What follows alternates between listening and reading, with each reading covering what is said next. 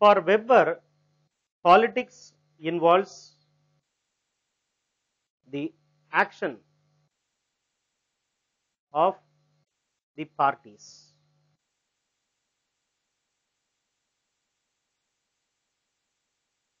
For Weber, power is zero sum.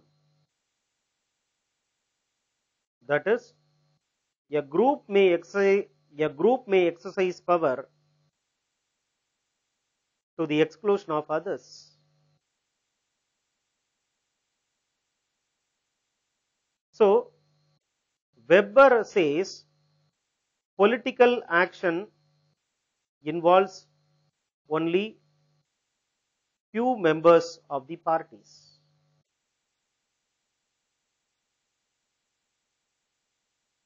But for Talcott Parsons, power is variable sum concept.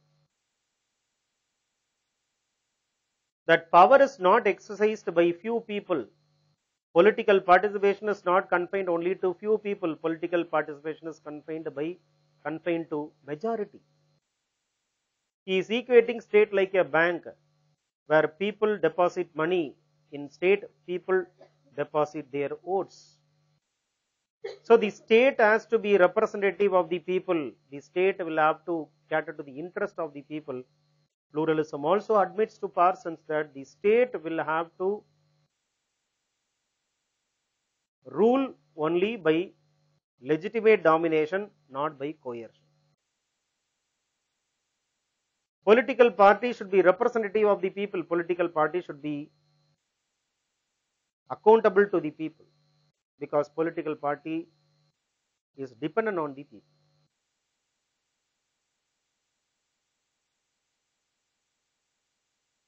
Political action is not just confined to voting. Mass mobilization is also present in movements.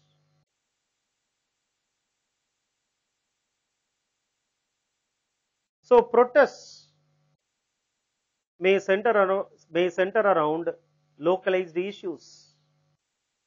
And when the protest attracts collective action of the people, it mobilizes more people's action, then that would become a movement. A movement is characterized by certain features. That it requires collective action of the people, a leadership, an ideology, a catalyst like a precipitating event, state action. Conventional social movements like that of Marxian revolution warranted a thorough change in the structure of the society. They are called as revolutionary movements.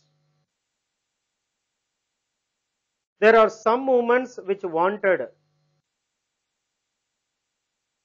partial changes called as reformatory movements.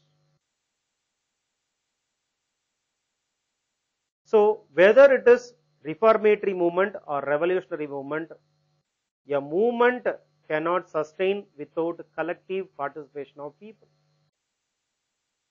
asking for either partial change or full change. Today, new social movements are making appearance, attracting large body of people for common interests like environmental protection, protection of child's rights, protection of the aged and protection of women. The new social movement, unlike the old social movement, is not having a targeted enemy. It involves people's participation for the betterment of the collective asset. Unlike old social movement, leadership is diversified. As we see in case of the farmers movement in India today. In the current affairs sociology class, I have spoken about the farmers movement who wanted MSP who wanted implementation of Swaminathan committee. And we said that the farmers movement and the Dalit movement which is taking place today is instant. It is not deliberately planned, it was instant movements without having any structured leadership. There is no single organization which can claim that they were the brain behind such a they were the brain behind such a massive mobilization of people. Last year there was a farmers movement and this farmers movement uh, resulted in the state unleashing violence killing few farmers. And today you have massive all India based farmers movement. Rajasthan, UP, Madhya Pradesh, many farmers participated through the help of social media network. Large number of educated youths participated and the farmers declared that they are not ready to supply their produce to the urban components. So, increasing participation of people today speaks about how power is not organized always. Weber speaks about the power of the organized. Weber speaks about the power of the organization over and above the power of the masses. For Weber, power is entrusted with the state. State is an organized form of power. But new social movement theories have found that power is not always organized, power can be even unorganized. Through various types of social movements today, the unorganized masses are challenging to the power of the organized classes.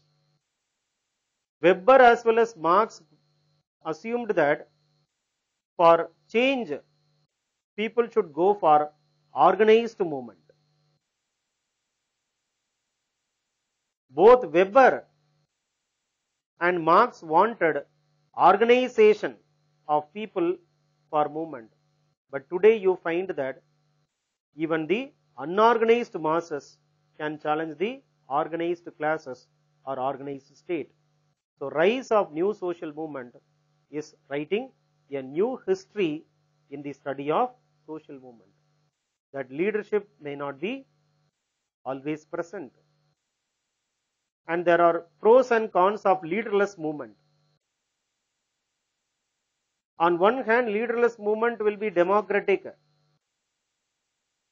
On the other hand, leader, leaderless movement will be like a ship without a captain, resulting in dissipation of the movement in different directions, unable to